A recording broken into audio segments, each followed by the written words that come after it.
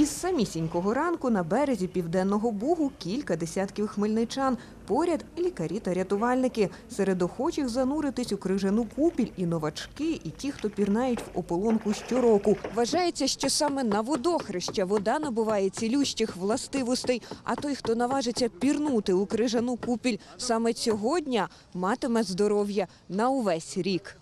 Три роки підряд. Провірити себе і свято. Раз дев'ятий, напевно, вже. Вже 4 роки купаємося. Бадьора така виходиш з води. Дуже добре. Ми кожен рік купаємося, а ще краще в Буковелі покупатися і на гори. Почуття одних краще других. І не холодно, бачите. Це, мабуть, сила природи, сила неньки України, нашої землі.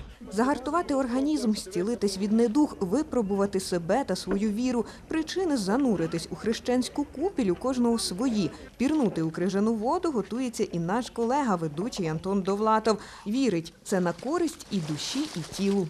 Хто ще не надумав, обов'язково зробіть це. Враження, як і обіцяв, дуже класні. А, Почуття передати складно, але зараз в цей момент вже стає дуже тепло. Радість, захват та сміх. Усі, хто наважився та з головою пірнув в крижану воду, запевняють враження надзвичайні та радять спробувати усім. Пробуйте, не пропускайте такої нагоди. Ну і як відчуття? Супер. Відчуття дуже добре.